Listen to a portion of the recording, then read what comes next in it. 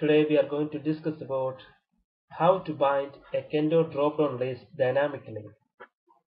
Here we are going to discuss about Kendo UI drop-down list in ASP.NET MVC. So there are mainly two parts. One is the view part and another is the controller part. As shown in the image, this is the view part.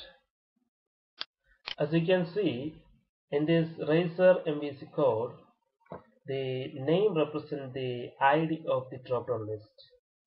The text field of the drop-down list is represented by the data text field. And the value of the drop-down list is represented by the data value field.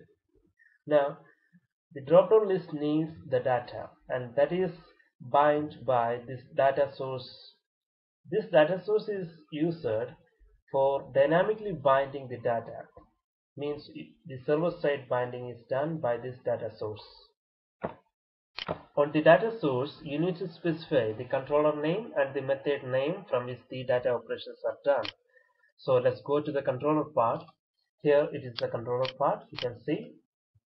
You can see the method name is same as this method name that is specified on the data source.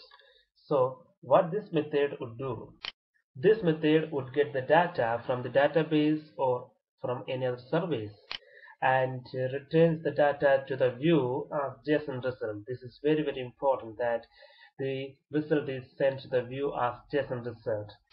In order to avoid the situations, you need to specify JSON request behavior dot allow get in your JSON result. Now the view part you can see the dropdown would accept the data that is sent from the controller and would bind to the dropdown list.